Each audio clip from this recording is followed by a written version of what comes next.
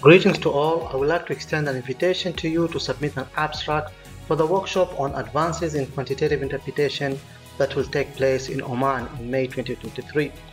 The workshop major emphasis is on case studies, you know, which include lesson learned and successful implementation of QI.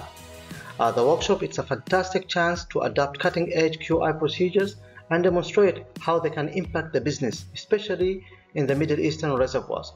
Furthermore, given that we are currently experiencing the fourth industrial revolutions using artificial intelligence and machine learning to speed up our delivery and perhaps offer a fresh perspective on how to interpret the data is unavoidable.